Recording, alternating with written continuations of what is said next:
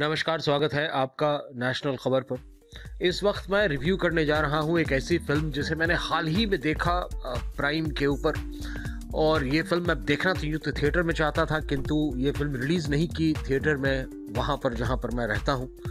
तो इस वजह से मैं देखने से वंचित रह गया। मैं आमतौर पर इस तरह की फ़िल्में देखने के लिए ट्रैवल भी कर जाता हूँ, लेकिन माहौल इस समय ऐसा है कि यहाँ से बैंगलोर तक ट्रैवल करने की हिम्मत नहीं हुई। फ़िल्म है रॉबर्ट और ये फ़िल्म जो है अपने आप में एक बहुत ही नायाब फ़िल्म है। पहले इस फ़िल्म की जो स्टारकास्ट है, मैं उस पर एक नज़र डाल के आपको बताता हूँ कि इस फ़िल्म में कलाकार कौन कौन है।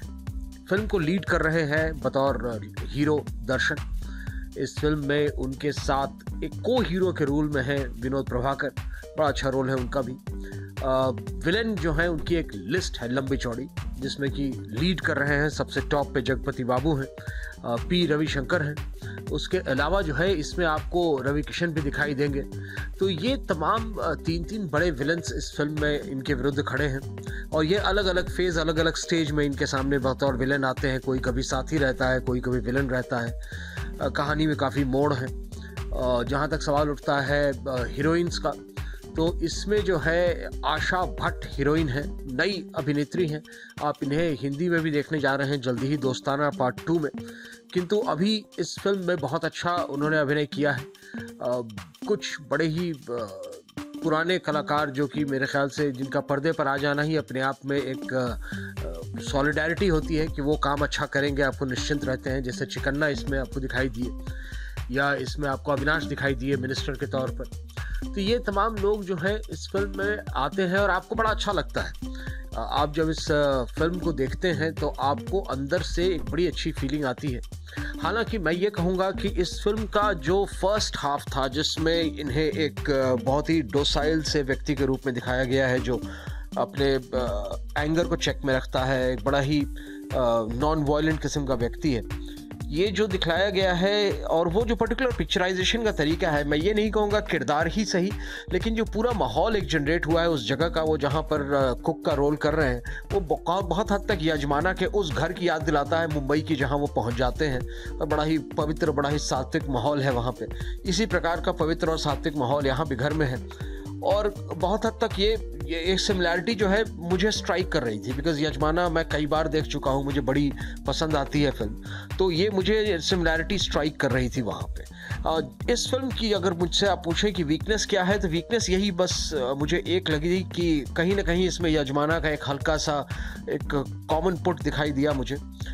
लेकिन अगर इस फ़िल्म की स्ट्रेंथ से की आप बात करें, सबसे पहली स्ट्रेंथ है इस फ़िल्म की दर्शन खुद।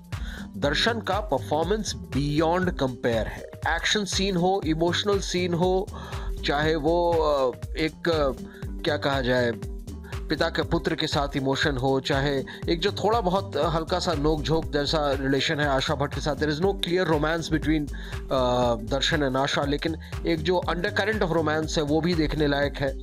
तो ये तमाम चीज़ें अगर आप देखिएगा तो आपको बड़ा अच्छा लगेगा आ, फ़िल्म के एक्शन सीन्स सेकेंड पार्ट बहुत ही ज़्यादा उम्दा। आपको ऐसे एक्शन सीन कई सालों से देखने नहीं मिले हैं।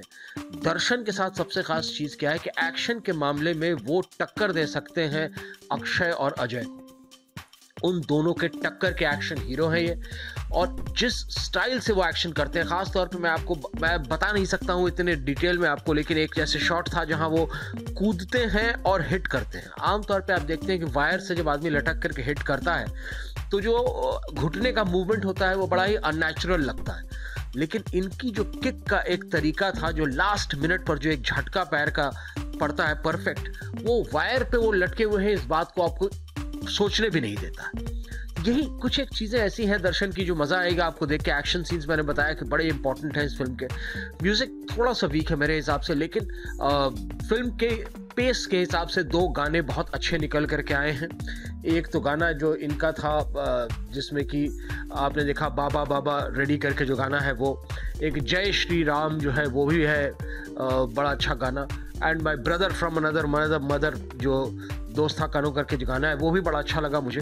किंतु गाना इससे बेहतर हो सकता था डेफिनेटली फ़िल्म का अगर अगला पार्ट बोले मुझे, आप जो कि अच्छा था तो वो थे इस फ़िल्म के विलन्स हालाँकि रवि किशन थोड़े से ओवर द टॉप थे, लेकिन मेरे ख्याल से that is what was expected of him लेकिन जगपति बाबू एकदम मेजर्ड पी रविशंकर मेरे ख्याल से बहुत ही मेनसिंग और बहुत ही ईवल लुक के साथ. मुझे तो पी रविशंकर हमेशा ही बहुत अच्छे लगते हैं, चाहे वो कोई भी रोल करें कभी कभी उन्हें आप एक कॉमिक विलन जैसे रोल में भी देखते हैं. यहाँ पर भी बहुत हद तक कॉमिक विलन ही थे लेकिन बड़ा इंटरेस्टिंग बड़ा ही मज़ेदार मेरे ख्याल से ये पूरा सीक्वेंस था. फ़िल्म की डायरेक्शन की अगर आप बात करेंगे मुझसे तो मैं बोलूँगा कि तरुण सुधीर ने अपने आप को प्रूव कर दिया है कि वो एक मास फ़िल्म देने में केपेबल हैं और एक अच्छी फ़िल्म दे करके निकले हैं रॉबर्ट के रूप में। आशा करता हूँ कि आगे भी जो है वो कोलैबोरेट करेंगे दर्शन के साथ बिकॉज़ उनकी उनकी मेरे ख्याल से विजन जो है दर्शन को लेकर के बड़ी अच्छी है।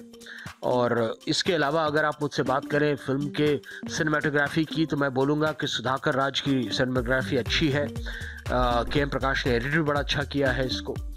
और म्यूज़िक का जहाँ तक सवाल उठता है अर्जुन जानिया का म्यूज़िक मैंने अगेन कहा कि कुछ बेटर हो सकता था, लेकिन दो तीन गाने तो बहुत ही अच्छे बन के निकले हैं। आशा भट्ट बहुत पॉजिटिव पॉइंट है फ़िल्म का। हालाँकि मैं, मुझे यही लगता है अजीब सी चीज़ की एक एक्ट्रेस जो है, जो रोल कर रही है एक फॉरेन रिटर्न का, वो फ़ौरन से फ्लाई करती है और फ्लाई करती है मिनी स्कर्ट में। आमतौर पे कोई भी व्यक्ति फ्लाई करते समय मिनी स्कर्ट पहन करके इस तरह से फ्लाई नहीं करता है लंबे डिस्टेंस में। प्रयत्न ये करता है कि स्वेट्स पहन ले जीन्स पहन ले, ज़्यादा कंफर्टेबल ड्रेसेस पहनना ज़्यादा आरामदायक रहता है। तो ये एक चीज़ मेरे ख्याल से अननेसेसरी है। दर्शन की फ़िल्म में जो है हीरोइनों से कपड़े उतारना बहुत ज़रूरी नहीं होता बिकॉज़ जनता सिर्फ़ दर्शन को ही देख करके काफ़ी खुश रहती है। आप इस फ़िल्म को अगर देख चुके हैं तो हमें कमेंट सेक्शन में लिख के बताएँ कि आपको फ़िल्म लगी कैसी। और एक और विनती है आपसे कि अगर आपने चैनल अभी तक नहीं सब्सक्राइब किया है तो ज़रूर कर लीजिए। मैं पूरे हिंदुस्तान वर्ष की तमाम अच्छी फ़िल्मों के रिव्यूज़ और उनके बारे में ख़बरें लेकर के आता रहता हूँ। जुड़े रहें हमारे साथ और चैनल सब्सक्राइब करना कतई मत भूलिएगा। धन्यवाद।